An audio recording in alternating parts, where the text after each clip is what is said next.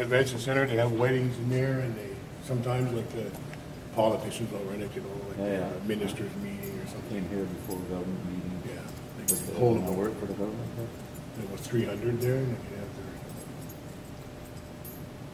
their sessions and all that. Good place for a wedding. Yeah.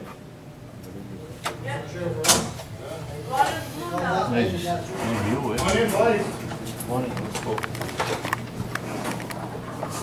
Couple of buyers here, they wanna buy a pool. Yeah. yeah. Not a problem. How much? We'll settle up there today and we'll all be done.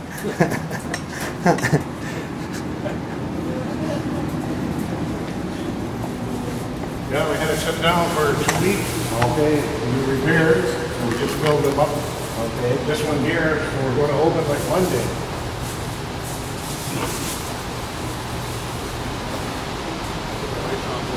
Go ahead, Danny.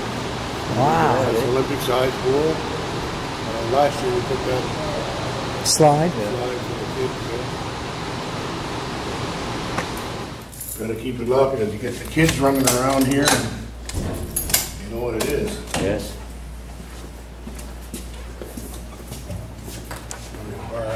Can't give you a drink, everything. Oh, good. He, uh, my cousin here, his brother got killed and he was a prominent auditor at the, the, the arena in the was named after his brother, but Mark Thibodeau. Well, it's it's uh, it's not an arena. It's not indoors. It's outdoor, but it's hockey rink. Yeah, yeah. Mark Thibodeau Memorial Hockey Rink.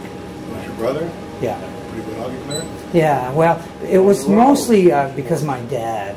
Uh, he uh, he flooded the rink, Okay, okay. and uh, like I said, if he started hockey in Millinocket, and uh, even after his kids left, he still flooded the rink. You know, and you know what it's like outdoors, 60 below, and the icicles off your nose, and Yeah, exactly. Well, it's one of them old guys, I'll tell you. So anyway, that's the bar. You with the river? I don't know why this bar doesn't do better, you know. Big building for a small town. It is, yeah.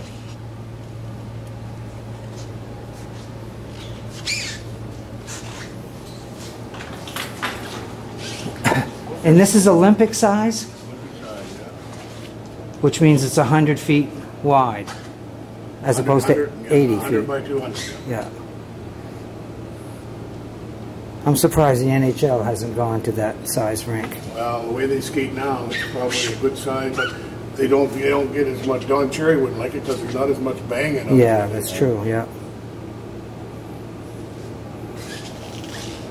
You want a picture with the lights on?